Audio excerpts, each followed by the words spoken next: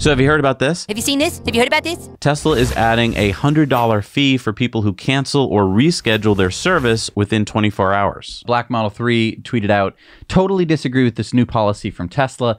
It is not like they have a lack of work. Crazy demand for service visits. So if I rescheduled, it's not like they won't have anything to do. Not throwing away $100 for an in warranty trim piece. Okay, so I just don't understand why Tesla's doing this. Not showing up doesn't cost them any money. So, I mean, I, I have a theory for this. Oh, okay, let's hear your theory. I think that since in some places the wait time for a service appointment is in the multiple weeks, that some owners may have made a little note on their calendars to make and then cancel or reschedule a floating service appointment that they don't need yet. A floating service appointment. What? So, like in anticipation for needing service? Yeah, it was something that I had thought of a while back. I mean, I wasn't going to act on it, but basically, when I was waiting a month to get something fixed on my car, I was like, man, if I had just like put in a service request and then canceled it the day of, if anything bad had happened during that time, I would have had a much earlier service appointment. Oh, you mean just everything's going fine for you, but you just put in a service request?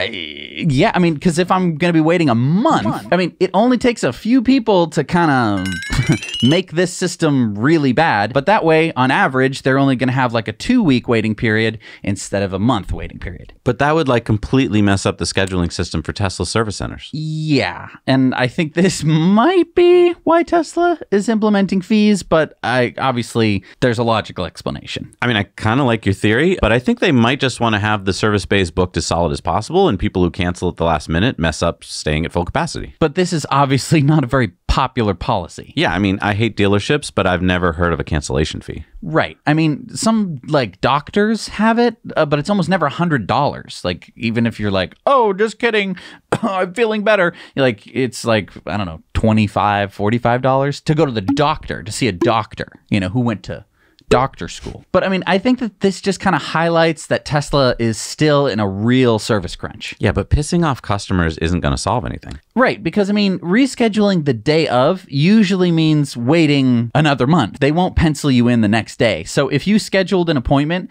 and then something came up, there's already a pretty big disincentive for you to cancel. And I mean, and lots of people are wondering if Tesla ought to give a $100 credit when they reschedule on people. Yeah, I don't think that this is really a good move for Tesla, especially on such an already contentious issue with owners. And I mean, Tesla's moved me around many times over the years, and I've never gotten like a $100 credit. So there's no incentive for them to. I, I never even get a loaner car. So Right. it, and, well, and but like you were promised loaner cars, Right. Yeah, I don't get them anymore. Mm-hmm. Mm-hmm. Aren't you a VIP? Yeah, But no, but no. no. That stands for very irritated person.